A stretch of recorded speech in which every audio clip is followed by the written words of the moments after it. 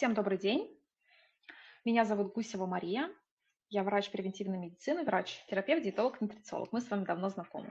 А, сегодня у нас речь пойдет про чаи компании Greenway. А, и эти чаи у нас выбраны не специально, они все будут а, на Product Day. Вот. Сегодня мы поговорим в целом про все чаи, которые есть в компании. Расскажу, что и для чего нужно. Пожалуйста, включите следующий слайд. Да, спасибо. А, давайте так, вот это сейчас будет, наверное, самая важная информация в течение всей, всей презентации. А, я хочу до вас донести, что чай – это не биологически а, активная добавка. Это даже не фун, особо не функциональное питание. Это просто пищевой продукт, пищевой питьевой продукт. То есть его можно абсолютно всем людям принимать без ограничений, там, в любом возрасте, ну, там, за исключением, да, сам, самых маленьких. Здесь уже смотрите сами. То есть мы ничего чаями не лечим, но мы можем на некоторые состояния повлиять. А, я скажу, вот почему я очень люблю чаи вообще в целом. Потому что э, большинство, с большинством пациентов, когда я работаю, я сталкиваюсь с тем, что у людей есть обезвоживания. Люди у нас не привыкли пить воду. Вообще такого нет, да. А, если вы из поколения, которое родилось еще в Советском Союзе, вы знаете, что у нас ничего кроме а, морса и заварки, да, настоянной, непонятно сколько недель, ничего особо не было. Не было привычки пить воду. Поэтому мы эту привычку несем в настоящее, да, мы не привыкли пить воду, очень тяжело дается эта привычка. А, и я замечаю то, что очень многим людям не нравится пить чистую воду, то есть она им невкусная. Вот, наверняка вы тоже с этим так или иначе сталкивались. Вот, она кажется безвкусной. И на что мы идем, да? А, там, говорим добавлять какую-то там травку, розмарин, лимон, там, апельсин, ну, хоть что-то, чтобы сделать эту воду, ну, просто вкусной, да, чтобы человек ее начал пить. Вот. Но я еще использую в своем арсенале чаи, потому что э, чаями можно увеличить значительно питьевой режим. А травяные чаи, которые не содержат да, в своем составе там, кофеин и катехины, которые есть в черном и зеленом чае, то есть просто травяные чаи, они вообще то есть не оказывают там там, мочегонного действия, их можно вообще целый день э, пить вообще в любых количествах практически. Вот. А с черным и зеленым чаем э, тоже, в принципе, так можно делать, но здесь немножечко поаккуратнее, да, потому что э, все же черный и зеленый чай, они оказывают мочегонное действие, вот, и это ну, просто надо иметь в виду. Что еще могу сказать про все чаи? То есть чаи, э, чаи – это продукт питания. Вы можете их пить э, до еды, после еды, во время еды. Э, единственное, что я прошу вас, не запивать чаями таблетки. Это очень плохая, очень плохая идея, да, потому что применение чаев вместе с лекарственными веществами, биологическими активными добавками могут снижать эффективность их. Вот, ну, в течение дня, пожалуйста. А, также какие-то чаи лучше пить э, в первой половине дня, э, это те, которые обладают более таким бодрящим действием, да, и э, успокаивающие чаи, травяные, их вообще замечательно пить перед сном. Также, когда я, когда я использую чай у своих пациентов, когда мы пытаемся слезть с кофе с ними. То есть у очень многих людей есть э, кофейная зависимость, да, вот хочется постоянно какой-то бодрости, но очень много людей в России достаточно плохо, плохо метаболизируют кофе. Вот, оно, эм, кофе, кофе, он, он, он, оно а, может увеличивать частоту сердечных сокращений, а, и в больших количествах влиять на качество сна, да, когда человек пьет. И вот когда а человек уже привык, да, там, там 3-4 кружки в день выпивать. И вот э, я тогда ввожу обязательно чай. То есть я говорю, давайте мы кофе уменьшим до там, одной кружки в день или откажемся от него, от него вовсе. Э, давайте попробуем пока вот э, пить чай. Вот. Потом перейдем на травяное, на чистую воду и так далее. То есть чтобы предложить человеку какую-то альтернативу. Потому что нельзя отнимать у человека ту привычку, которая ему доставляет удовольствие на протяжении всей его, всей его жизни. Вот. Итак, давайте а, резюмируем. То есть чай – это у нас не биологически активная добавка, это не лекарство, но тем не менее у него есть э, доказанные э, мировой медицины, причем доказательной медицины, свойства. Большинство исследований по чаю, конечно же, проводилось в Азии. Ну, естественно, да, там целая культура а, по чаю. Вот. И а, какие есть интересные исследования? Например, вот а, в Сингапуре проводилось исследование в течение 20 лет. Вот, в течение 20 лет а, на 12 тысячах людей, лю, людей, людях. Вот. И что оказалось? Да, через 20 лет этого исследования, что э, те люди, которые э, пили на всей протяжении своей жизни чай, у них это был в основном, конечно, э, зеленый чай, различные виды пуэров, они в старости э, были более энергичными, более энергичными, более подвижными, чем те, которые чай вовсе не употребляли.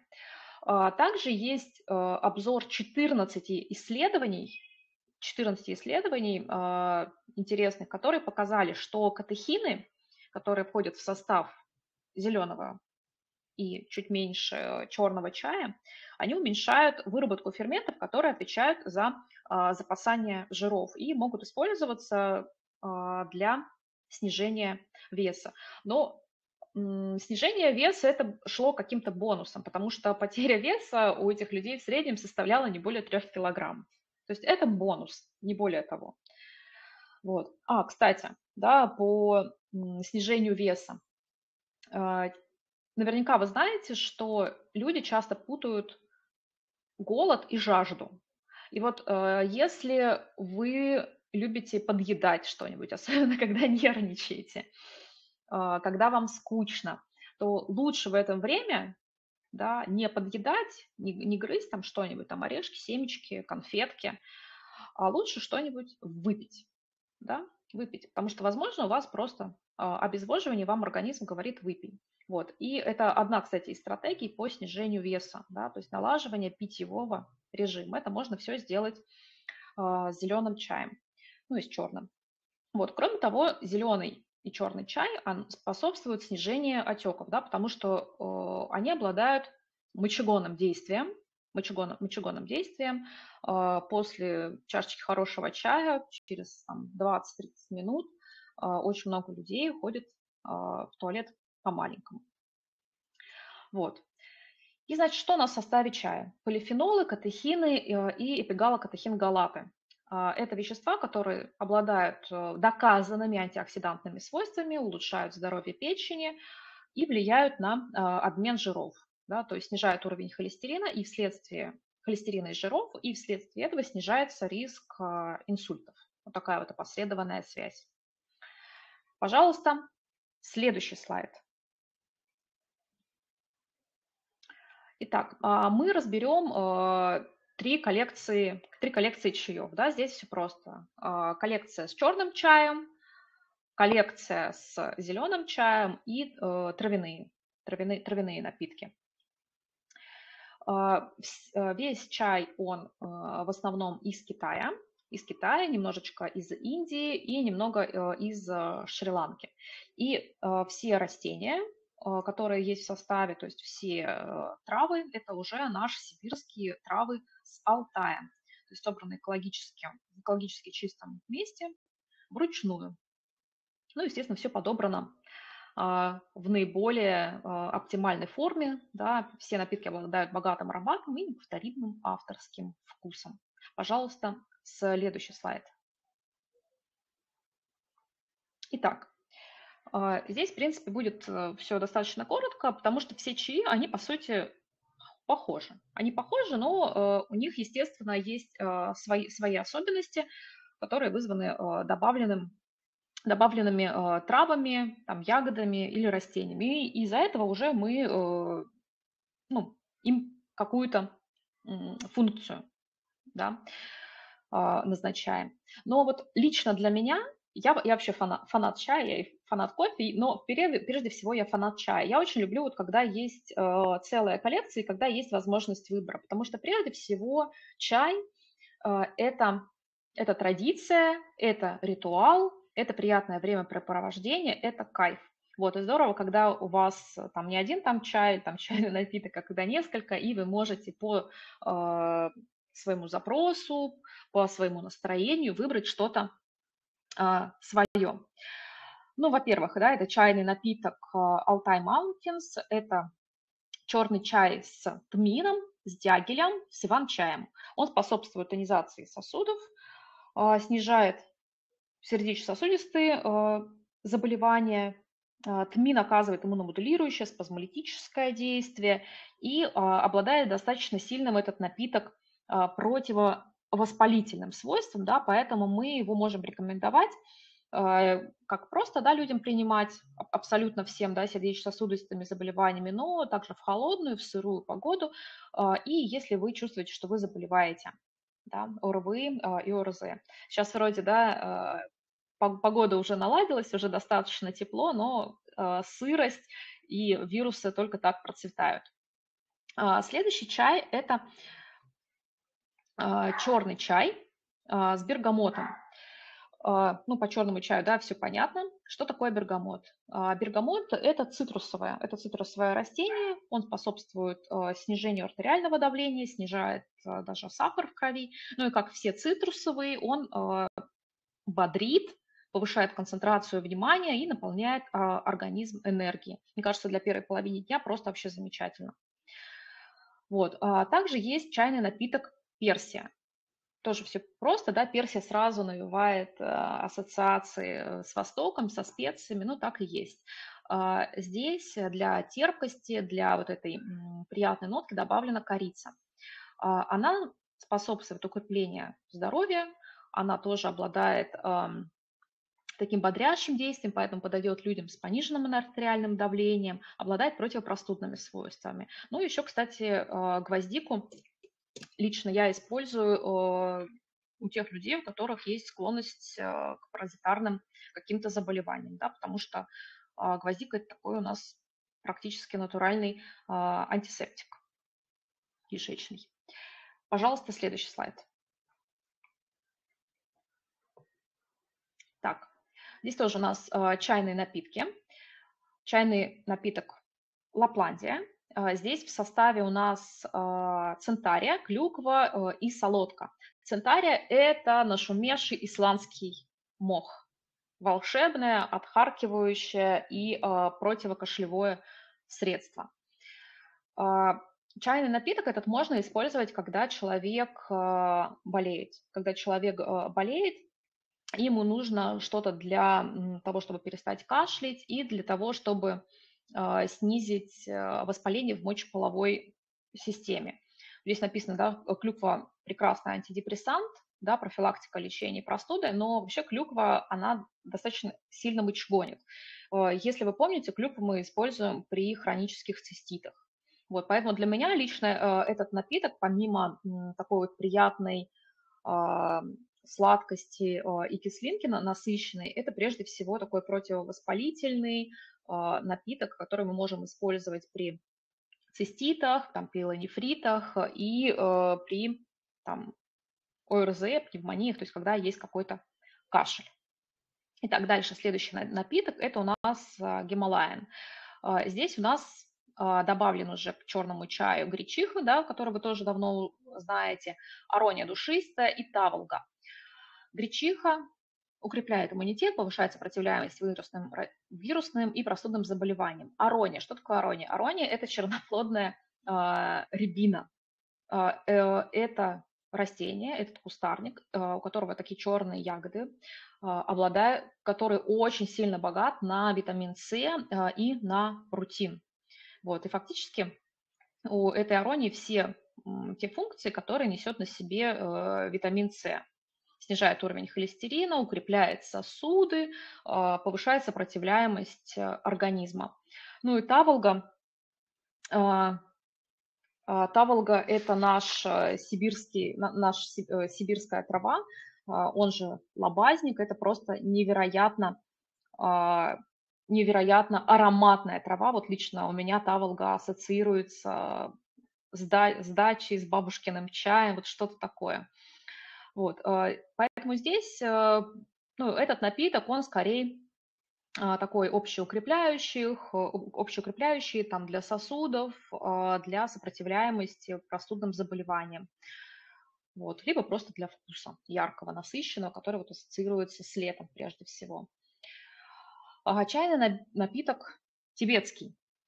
Здесь помимо черного чая добавлен бадан и бергамот. Про бергамот я уже сказала, да, он будет успокаивать и бодрить одновременно да, как э, любое, любое цитрусовое наполнять нас э, энергией, оказывает противовоспалительное действие. А, бадан – это алтайское, алтайское, такая, алтайское такое растение, он обладает очень сильным противовоспалительным действием а, и укрепляет сердечно-сосудистую систему. Далее, черный чай традиционный. Это купаж, да, то есть смесь э, черного чая из Индии, Кении и Шри-Ланки. А, Все просто, здесь никаких добавок а, нет, потому что очень многие люди любят просто вкус нормального черного чая, хорошего. А, Черный чай здесь выводит из организма шлаки, лишнюю жидкость, мочегонное действие оказывает, помогает с упадком силам, сил, стресс, чувством тревоги. Еще могу вам дать э, рекомендации по завариванию чая, потому что есть кое-какие нюансы. Компания э, это не делает, а, потому что, в принципе, у всех э, чаев все вроде как одинаково, но могу своим лайфхаком поделиться. Когда мы завариваем черный чай, а, нам нужно а, залить кипятком, то есть примерно 80 э, градусов водой, нужно залить емкость на одну треть. На одну треть, то есть не полностью, да, а вот одну треть залить и дать настояться 2 минуты. И только после этого долить оставшуюся воду. Вот. И тогда э, вкус именно черного чая, он э, раскрывается максимально ярко.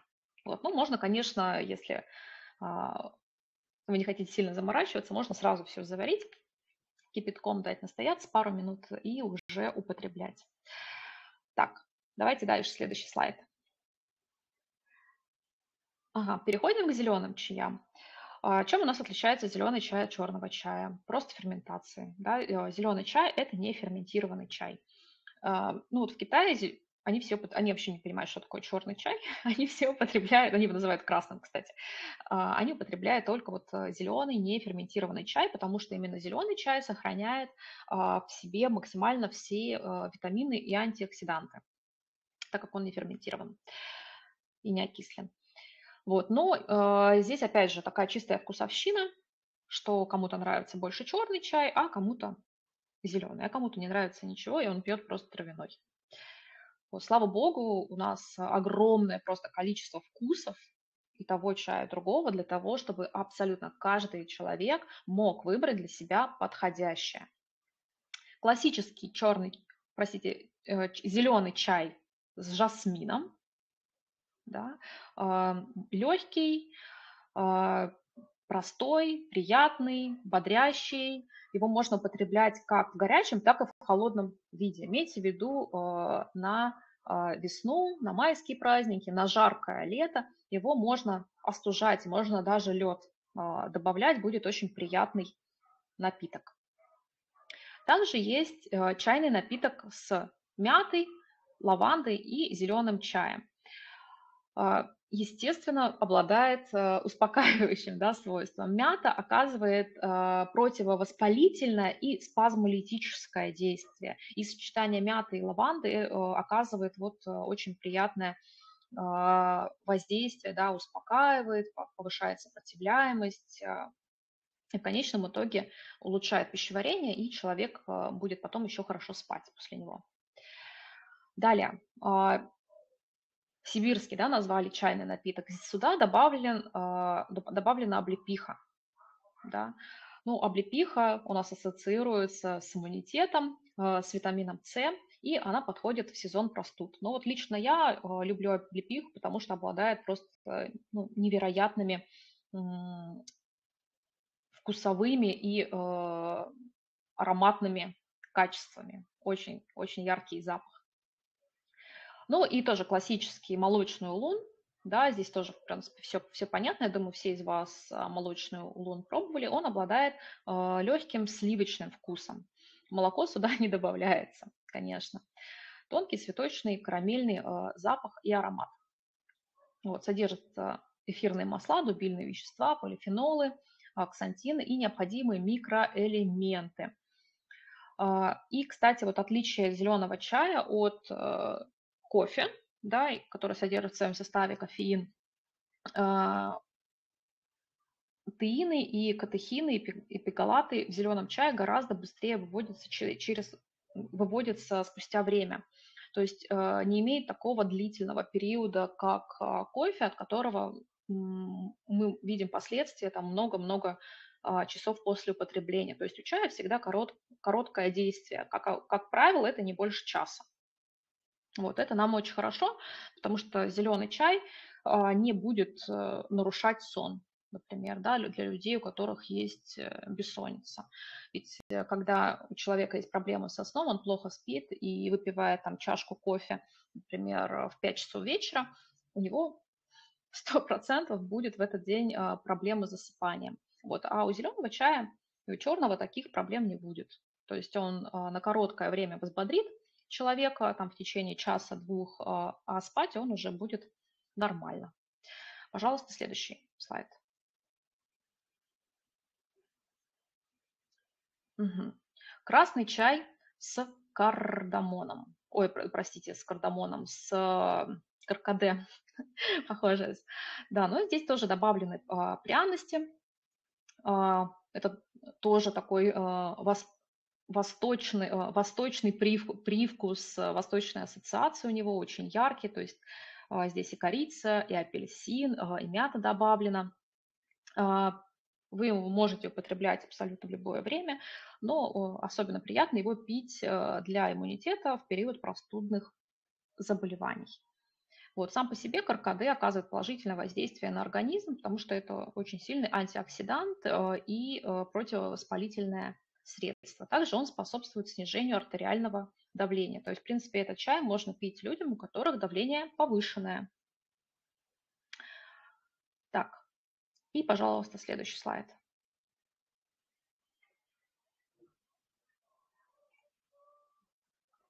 Переходим а, к функциональным чаям, да, то есть мы разобрали черный, зеленый чай, и есть функциональный, то есть травяные чаи. То есть это чай, да, но условно. Самого чая там нет. А, то здесь э, в составе только травы, коренья, листья, там, ягоды и так далее. А, и здесь уже они собраны по своим функциям, оказывают такое ну, более прицельное действие для разных систем. Давайте разберем, какие. Давайте переключим слайд. Мгм. Давайте вот еще, знаете, что скажу про функцион функциональным чаям. А, травяные чаи травяные чаи вы можете заваривать и пить в течение всего дня. То есть, а, в отличие их от, э, ну, чая, да, от чая прям, то, что, а, можно настаивать эту траву, понимаете, да? То есть вы можете там залить кипятком, условно, и пить этот там чай, не вынимая там, из него, из него вот этот э, там, пакетик там, через 2 часа, там, через 3 часа и так далее. Добавляя, например, воду, если кажется, что сильно крепкий вкус. Это тоже абсолютно а, нормально и подходит вот как раз, а, если вы хотите поработать а, над своим питьевым режимом и сделать ваше питье более приятным. Итак, для мужского здоровья да, сюда у нас входит в этот чайный напиток красный корень, да, который помогает а, тонизировать организм, снижает а, уровень холестерина и помогает нормализовать мужскую силу, мужскую потенцию. Следующий напиток – это у нас экстресс Браво 4. Очень люблю эти травы, особенно ливзею, радиолу и бадьян, потому что эти травы, которые собраны на Алтае, вот кон- конкретно эти, они используются э, в схемах э, при э, снижении работоспособности, э, при усталости, при, при снижении энергии, когда А, надо вот чем-то заменить э, кофе. Надо чем-то заменить кофе. Кофе уже плохо работает. Вот. И эти травы, они оказывают действительно очень хорошее бодрящее действие. Я рекомендую этот напиток употреблять в первой половине дня. Потому что, конечно, а, там, радиола и левзея а, вечернее время – это не самый лучший выбор. Да, они, мог, они могут бодрить. А вот э, с утра и днем их пить просто замечательно. Они будут работать в течение примерно э, 4 часов.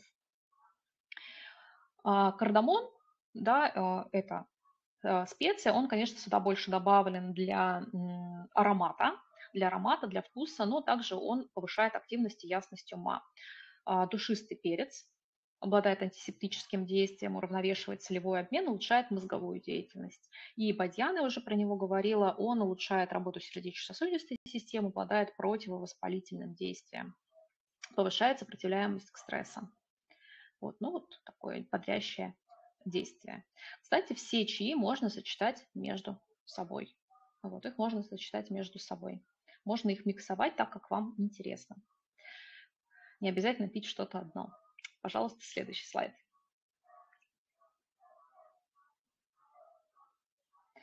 А, сделали напиток специально для сердечно-сосудистой системы. Здесь а, уже у нас а, на первом месте каркаде. Как мы уже про него говорили, да, что он способствует снижению холестерина, улучшает проницаемость, увеличивает проницаемость стенок сосудов, способствует снижению артериального давления. Пустырник седативное действие. Пустырник у нас у всех на слуху. А, можно принимать вечером, даже нужно. А вот зверобой, он очень интересный. А, дело в том, что зверобой – это натуральный антидепрессант. Это прям натуральный антидепрессант. У зверобоя выраженное седативное а, действие. Всем рекомендую. Особенно перед сном. Вот. Боярышник тоже у нас да, у всех на слуху. Он нужен для нормализации ритма, для работы сердца. Клубника, а, рябина, шиповник, они э, сюда добавлены как источник э, витамина С и рутина, которые нам нужны для укрепления сосудов. Для укрепления сосудов. Так, а, для дыхательной системы малина, чайный напиток для дыхательной системы. А, здесь у нас в составе малина, девисил, солодка и дудник. Малина помните, да, а, всем, наверное, бабушка давала чай, чай с малиной, да, когда мы болели. Вот, а, малины – это а, лист малины обладает жаропонижающим действием и помогает выводить токсины, когда мы болеем. Солодка прекрасно обладает откашливающим действием. Солодка у нас стимулирует работу лимфатической системы, снижает отеки, помимо всего этого, но и обладает, опять же, сильным таким откашливающим, отхаркивающим действием. Вот. Ну и дудник тоже а, обладает отхаркивающим действием, противовоспалительным и успокаивающим. Такое вот сочетание. А, я бы, знаете, что только по этому напитку сказала? Его можно, естественно, пить э, как бы в любое время, можно в любое время пить. Э, более того, говорю, не только при заболеваниях дыхательной системы, но если у вас есть склонность а, к отекам, есть, есть ли склонность к отекам, особенно вот э, летом, да, когда а, у, у всех, в принципе, страдают а, ниж, нижние конечности от отечности, он может подойти за счет вот этого своего лимфодренажного действия. Единственное, с осторожностью его пейте перед сном. Да, перед сном, если вы а, болеете, если вы болеете, да, потому что из-за того, что он усиливает отхаркив... отхаркивающее действие, да, то может усиливать э, кашель в вечернее время. Да, нам это не очень подойдет. Поэтому а, вечером лучше успокаивающие чаи вот для сердечно-сосудистой системы, но не стимулирующие. Так, давайте дальше. Следующий слайд. Вот, да, как раз говорил, успокаиваю, успокаивающий чайный напиток. А, здесь добавлен курильский чай, а, который нормализует, нормализует э, наше внутреннее состояние, а, внутреннее состояние работы головного мозга, восстанавливает работу после напряженного рабочего дня. Ромашка, пустырник, известные, известные нам, известные нам растения, да, которые обладают выраженным седативным и успокаивающим действием, да, то есть будете очень хорошо спать. И еще один напиток да, для улучшения работы почек. А, сюда добавлен золотарник, горец, чебрец и, опять же, солодка. То есть а, все эти травы, они а, обладают мочегонным действием, то есть стимулируют работу почек. Вы их можете употреблять в каких случаях? Просто, во-первых, потому что вам нравится вкус, да, как я уже сказала. А, второе, если а, есть какие-то а, циститы, пилонефриты, то есть когда нужно простимулировать при заболеваниях сердечно-сосудистой системы, если у вас высокое артериальное давление, тоже будет хорошо работать. И если есть отеки, отечность какая-то. Но, опять же, с осторожностью перед сном, потому что будете бегать в туалет. Вот не, не, не очень хочется да, нарушать э, этим сон. сон. Поэтому э, последнее я бы прием этого чайного напитка рекомендовала часа за два, за три э, до отхода ко сну, чтобы не бегать потом ночью. Ух. Давайте следующий слайд. Ага. Да, мы почти закончили. У нас очень, очень много напитков. Это так здорово. Каждый может выбрать что-то для себя. А, для укрепления кровеносной системы. А, здесь у нас а, есть небольшое количество зеленого чая, как сильный антиоксидант, да, потому что он улучшает липидный обмен, да, снижает риск инфарктов, инсультов. Курильский чай, корица, имбирь, календула, календула и доник. Все эти напитки, они улучшают работу сердца, сердечно-сосудистой системы, нормализуют артериальное давление. И при этом а, они не повышают да, артериальное давление, не увеличивают частоту сердечных сокращений. Поэтому можно на постоянной основе а, их принимать. Также есть отдельный напиток для оздоровления а, суставов. Зеленый чай добавлен как антиоксидант, уменьшает воспаление, кипрей обладает противовоспалительным действием. Нам больше всего здесь интересен сабельник, потому что вот у сабельника есть доказанная сильная а, противовоспалительное, противоотечное действие, и он усиливает регенерацию хрящевой ткани. Сабельник добавляется в очень многие противовоспалительные а, продукты и БАДы для суставов. Чебрец брусника а, используется для терапии суставных заболеваний. Опять же, за счет своих противовоспалительных свойств. Вот. И также здесь добавлен саган дайля, он способствует снижению отечности, воспалению и болевого э, синдрома. Э, единственный момент, Саган Дайля, хотя его здесь очень мало, да, он на последнем месте в составе, но Саган Дайля, он тоже может немножечко бодрить. Вот, немножко бодрить, поэтому совсем, наверное, перед сном я бы не рекомендовала употреблять. А вот часа за три, за четыре еще можно его употреблять, но совсем перед сном нежелательно. Так, Пожалуй, все, да? У нас закончились чайные напитки. Переключите, пожалуйста, слайд. Да, у нас последний слайд. Напитков очень много. А, вы можете выбрать под себя любой, а, и либо взять а, побольше и выбирать любой там чайный напиток, чай под настроение, под ваш запрос, под погоду, да, его употреблять. Как его употреблять?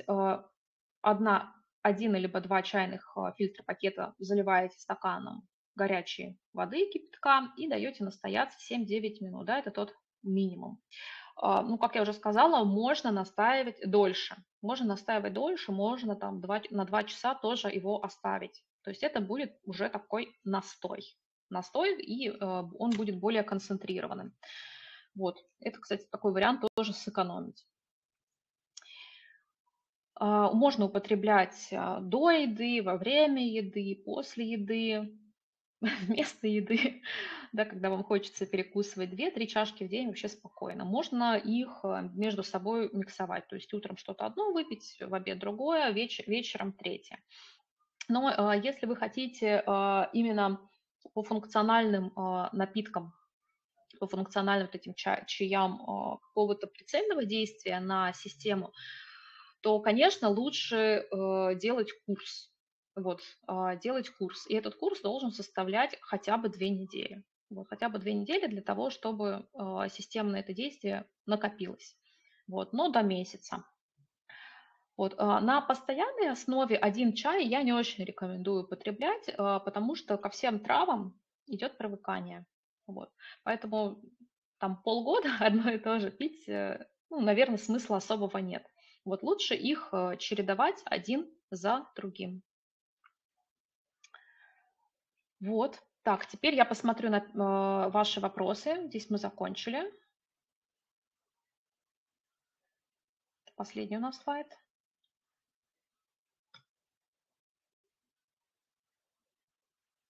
Да, эфир будет, запись будет.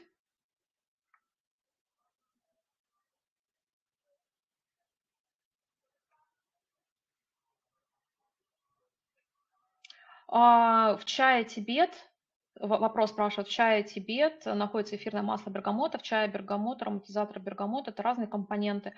А, я, если честно, я не могу вот прям со стопроцентно сказать уверенностью, вот э, сейчас разные это компоненты или нет, а, но по, по логике, по логике должен быть добавлен бергамот отдельно и в своем составе содержать эфирные масла. Но вам лучше это уточнить э, у продукт-менеджера или там в, маркет, в отделе маркетинга. А, я люблю э, с лимоном чай. Какой из наших можно первым попробовать? Вы можете абсолютно в любой чай добавлять э, лимон. Будет совсем сочетаться. Выбирайте тот, который вы любите. У нас нет никаких, э, абсолютно никаких на этот счет запретов. А, при беременности есть травяные чаи, которые можно без боязни пить. Да все чаи можно при беременности пить. И вот я сейчас пытаюсь вспомнить.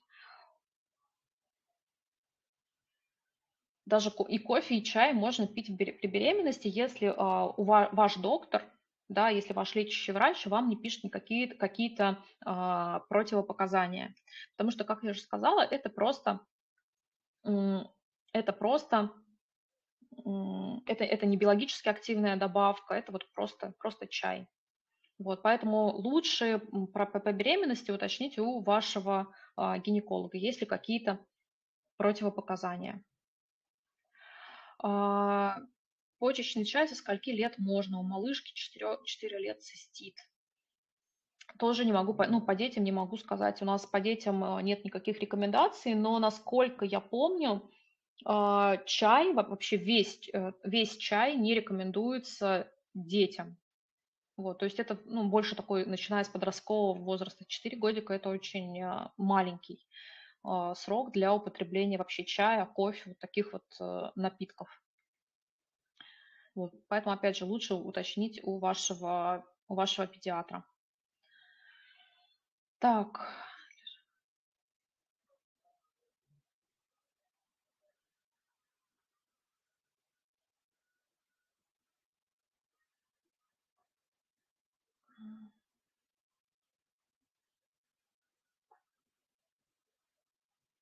А если от чая тошнит, пить могу только с молоком. Будет ли эффект, э, если добавлять э, в чай молоко? Да, конечно, будет эффект, да. Но опять же, имейте в виду, э, имейте в виду, это почему вспомнила, мы чаем не, запив... не, чаем не запиваем витамины и минералы, потому что чай и кофе обладает э, связывающим действием на минералы. И, например, э, кальций, кальций он не будет усваиваться вот, из этого молока. Но никаких противопоказаний нет. У нас полмира пьет чай с молоком.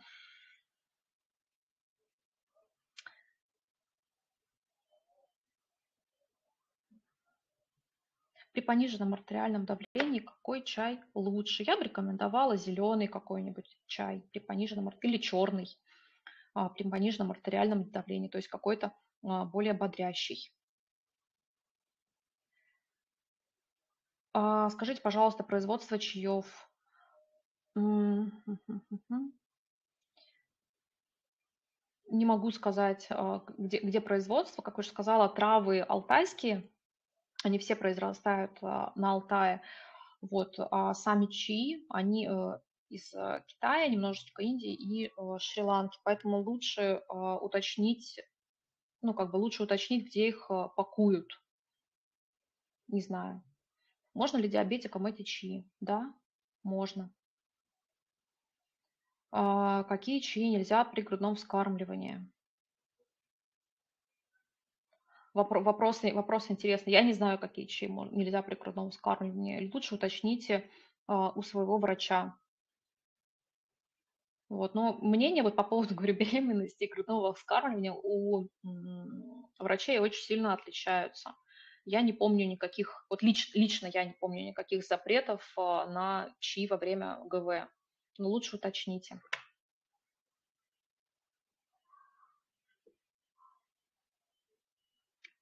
Так, ну тогда все.